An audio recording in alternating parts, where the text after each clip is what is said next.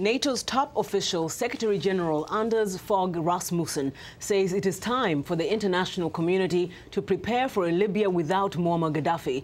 VOA's Laurel Bowman reports.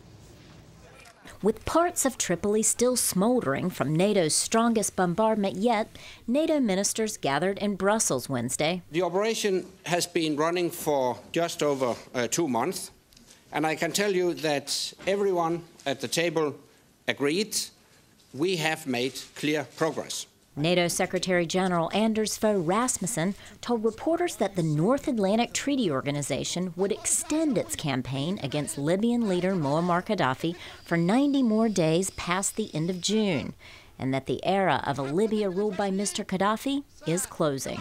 Gaddafi's history, um, it is no longer a question of if he goes, uh, but when he goes. It may take weeks, but it could happen tomorrow. And when he goes, the international community has to be uh, ready. Rasmussen also said that he does not expect NATO to play a lead role in Libya post Gaddafi and that it will be up to the United Nations to guide that country toward democracy. Meantime, chaos ensues in the rebel stronghold of Misrata, east of Tripoli. Shelling Wednesday by Gaddafi troops left many dead.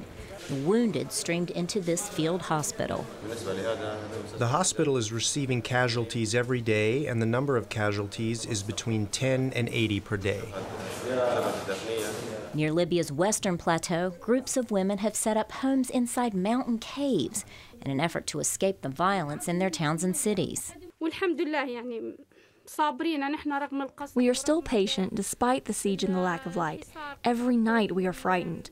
We worry that the ceiling might collapse over our heads. Libyan TV broadcast video of Mr. Gaddafi meeting with tribal leaders earlier this week. In an audio address to the nation, he vowed to stay in Tripoli, dead or alive. Laurel Bowman, VOA News, Washington.